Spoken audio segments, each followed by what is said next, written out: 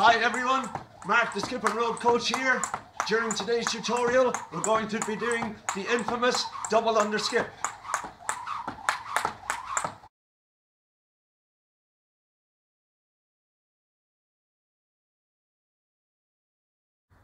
In the beginning, we're going to concentrate on your footwork during the double under. The double under, you're going to do three jumps at the start, medium paced, so just medium normal skipping. And then on the fourth jump, you are going to do a higher jump and pushing off the ground a little bit harder.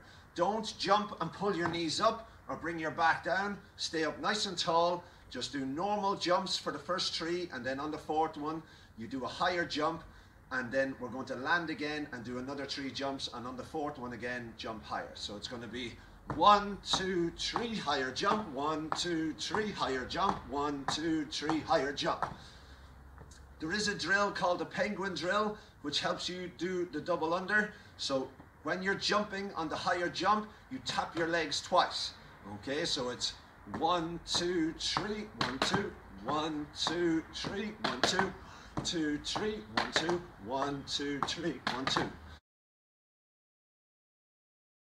Okay, so now we're going to add in what you do with your hands.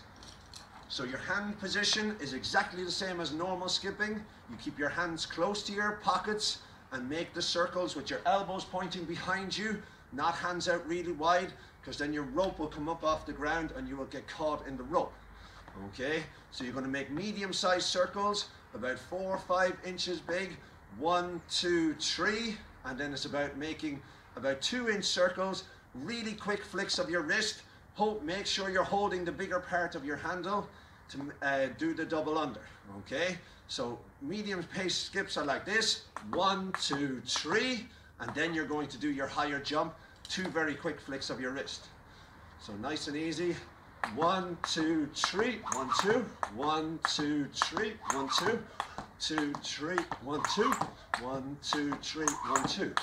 Make sure that they stay in nice and close to your body. Don't bend your back down, as I said, keep up nice and tall.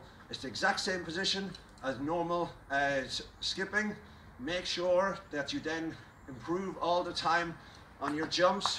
One, two, one, two, three, one, two, three, one, two keep the same rhythm until you get the hang of doing double unders. And if you get better, you can add or you can take out one of the skips beforehand where you go one, two, double under, one, two, double under, one, two, double under, one, double under. And then eventually you will be able to do double under, double under, double under, which looks like this. Double under, double under, Look how close my hands stay to my body all the time. And I'm doing a higher jump each time and two very quick flicks of my wrist down at my pockets. If you found this double under tutorial helpful, please give it a like and feel free to share it. If you would like to buy one of our skipping ropes, head to skipnrope.com. Thank you.